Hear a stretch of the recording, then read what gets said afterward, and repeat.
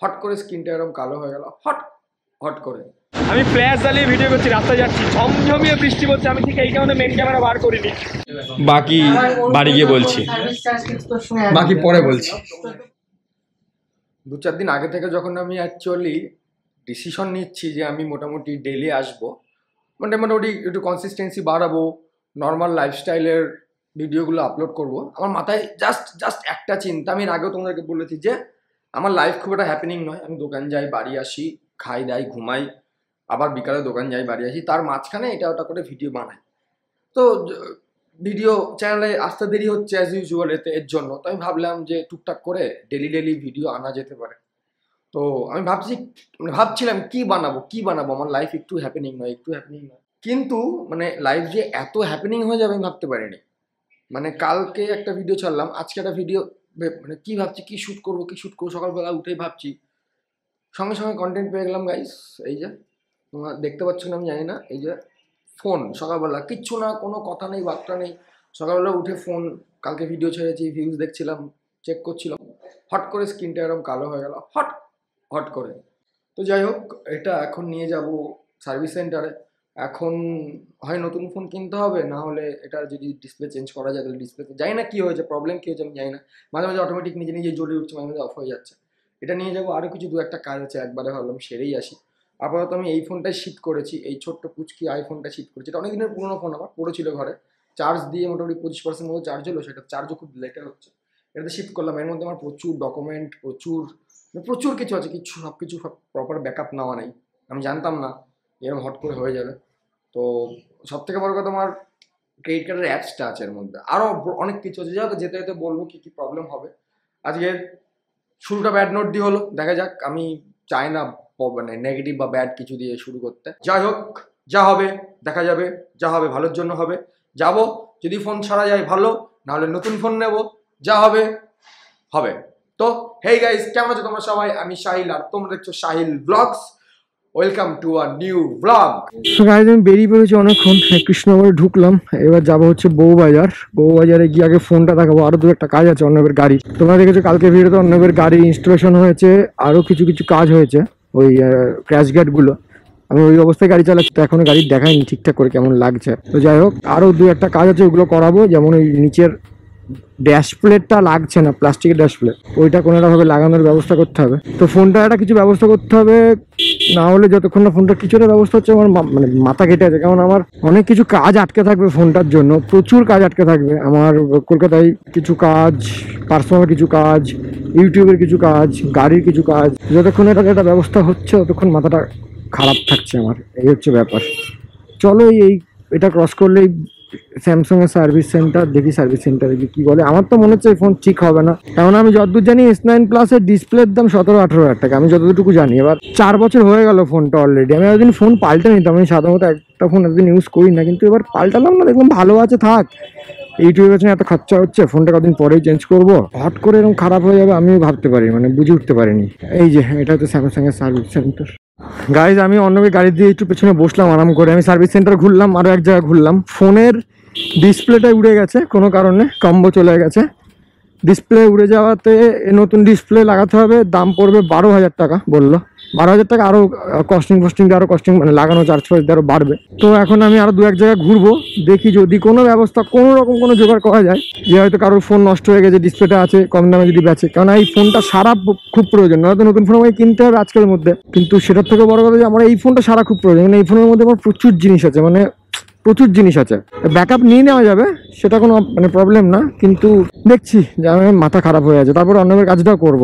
দেখো কি ক্রিস্পি সুন্দর ওয়েদার রোদ ঝলমলে। আমি জানি না বোঝা যাচ্ছে কিনা, আমি পেছনেই বসে আছি, একদম ইয়ে করে। আর ফোনের কেসটা কি হলো বাড়ি গিয়ে বলছি, আমি কৃষ্ণনগরের মধ্যে আর ব্লগ করিনি। কেননা ইচ্ছা করছিল না, মাথাটা গরম আছে। কি ডিসিশন নিলাম, না নিলাম, বাড়ি গিয়ে বলছি, পৌঁছে গেছি বাড়ি আর দশ পাঁচ সাত মিনিটের রাস্তা। আর জাস্ট ওয়েদারটা দেখো তোমরা এবং মেনলি ওয়েদার দেখানোর জন্যই গোপ্রো অন করলাম, না অন করতাম না গোপ্রো জাস্ট ওয়েদার দেখো আমার তো মনে হচ্ছে তো রাইডে বেরিয়ে পড়ি। না ফোন ছাড়া কি করে রাইডে যাব এখন আমি? সো গাইজ গুড ইভিনিং এখন সময় হয়েছে সময় কত দাদা এখন সময় হচ্ছে গাইজ পাঁচটা একান্ন। আর আমি ব্লগ করছি গোপ্রোতে আমি বাড়ি চলে এসেছিলাম তখন কৃষ্ণনগর থেকে কেননা কোনো কাজ হয়নি। অন্যভাবে যে কাজটার জন্য গেছিলাম সেটাও বন্ধ ছিল। এখন অন্য আবার এসছে আবার এখন কৃষ্ণনগর যাব। কৃষ্ণনগরে এখন আমি হয় একটা ফোন কিনবো আর না হলে এই ফোনটা মানে এই ফোনটা অ্যাকচুয়ালি একবার একটা আমি একটা সন্দেহ করছি যে ডিসপ্লে হয়তো ওড়েনি। দু তিন জায়গায় দেখালাম সব জায়গাতেই বলল ডিসপ্লে উড়ে গেছে উড়ে গেছে।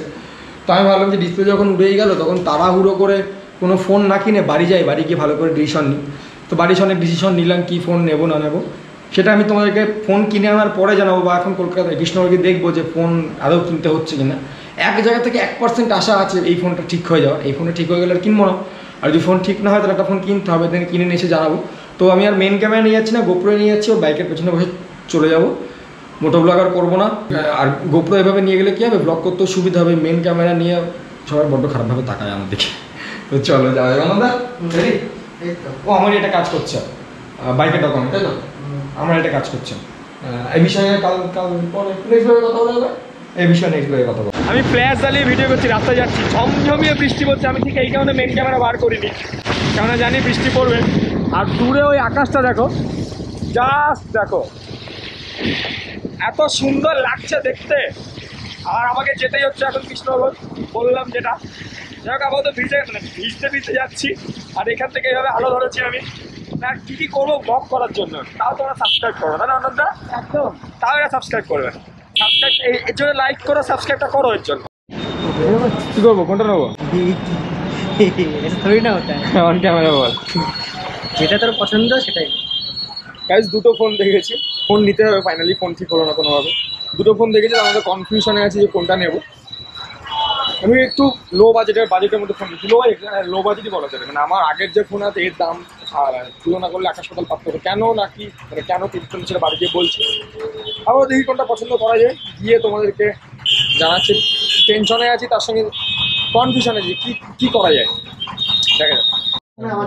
তো ফাইনালি এইটা এই প্রোডাক্টটা ফাইনালি ফাইনাল করলাম। এই যে Vivo Y thirty three S আট জিবি একশো আঠাশ জিবি বাকি বাড়ি গিয়ে বলছি। বাকি পরে বলছি।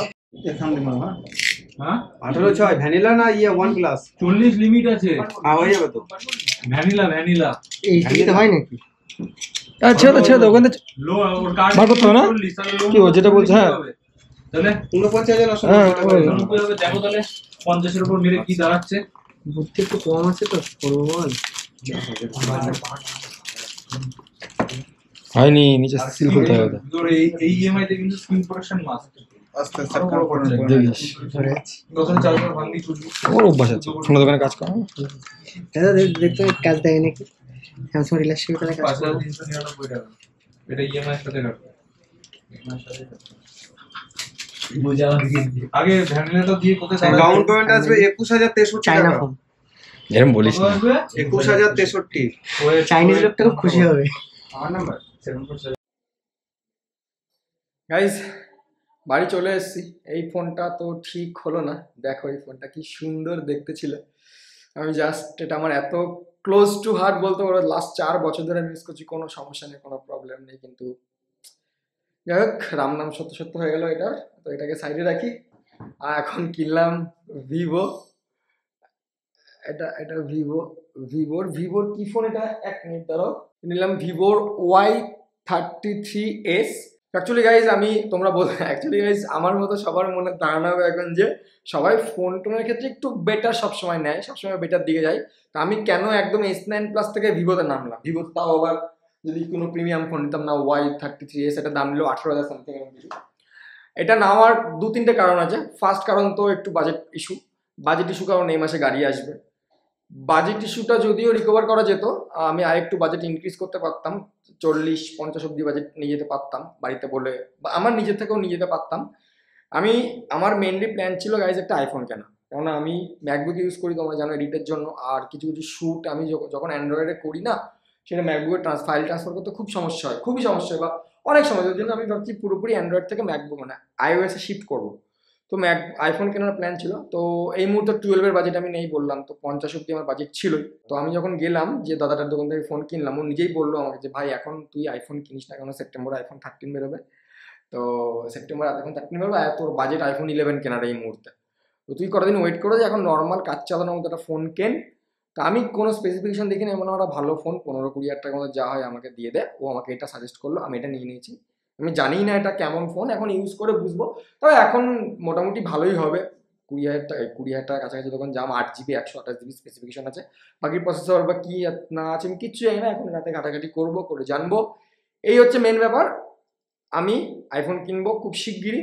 শিগগিরই বলব না, মাস চারেক পাঁচেক থেকে ইউজ করি দেন তারপরে গাড়ি আসুক গাড়ি সব কাজপত্র হোক একদম গাড়ির খরচা বাচ্চা মিটে গেলে তখন একটা আইফোন নেব। আই থার্টিন বেরোলে আইফোন একটা নেওয়ার প্ল্যানে আছি। এই হচ্ছে ব্যাপার এই জন্য আমি এই ফোনটা নিলাম।